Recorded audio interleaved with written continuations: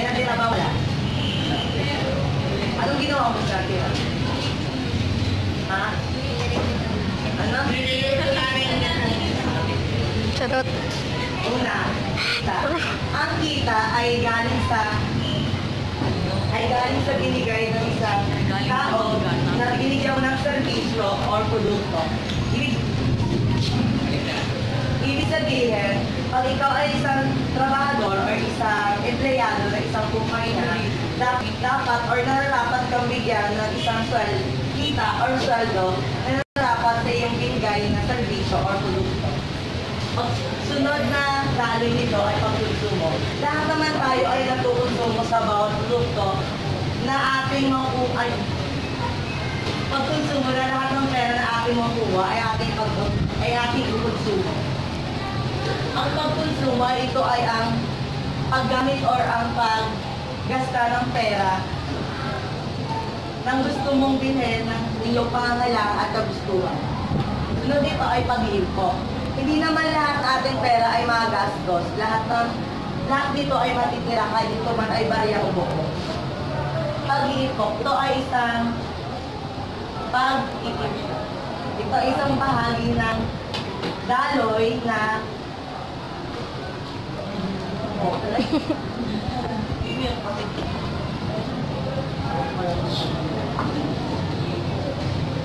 Bahagi ng kita hindi magagastos, tali na inilalagak sa bangko para pangailangan ng hinaharap. Ibig sabihin, huwag mo ito.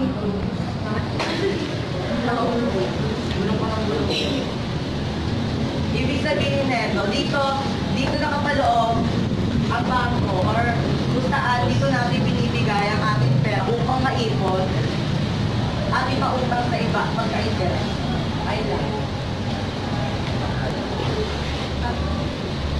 Upang masigurong ligtas ang iyong sa bangko. Seven habits of wise saver. Kilalanin ang iyong bangko. Mahalagang kilalanin ang iyong bangko dahil maaaring may mahawak ng ibang ah, ng ibang pera ang iyong account. Dahil hulog ka ng hulog, may iba naman palang gumagamit nito, baliwala rin ang pag-iipon mo. Pangalawa, alamin ang produkto ng iyong bangko. Mahalagang alamin ang produkto ng iyong bangko upang masigurong ligtas ito. Kailangan i-check lagi ang iyong mga records o mag-iwan ng, ng, ng, ng ibang dokumento na maaaring ikasira ng iyong account. Pangatlo, alamin ang serbisyo ng mga bayarin sa iyong bangko.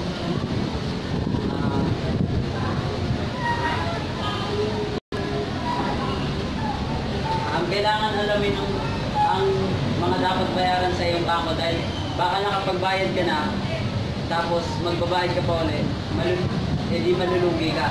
mga charge processing fee. Ah. Tapos, pangapat, ingatan ang iyong bank record at siguraduhin up to date. Ah, kailangan ingatan, ha?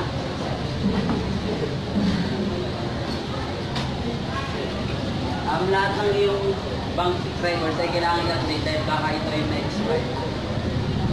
Na-expire. Ah, kailangan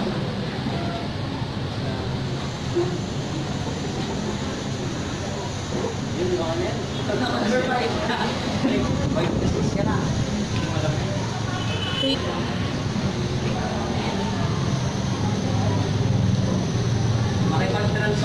lamang sa loob ng bangko at sa autorisadong tauhan nito. Um, huwag kang makikipag ano sa labas ng bangko dahil baka ano lang yun. It's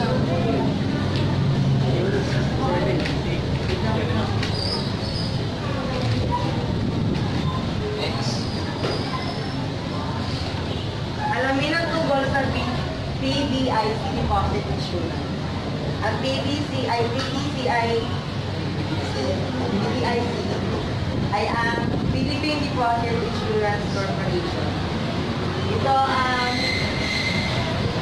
dapat natin alamin ang bawat insurance or deposito na naka, nakapaloob dito sa PDIC upang upang hindi tayo maluwi.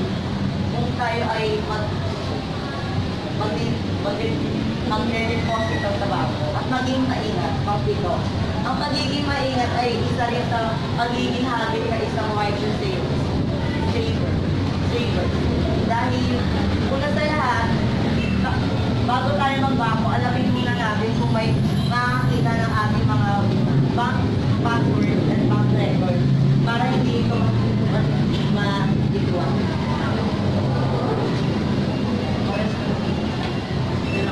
Okay, the same lang. But,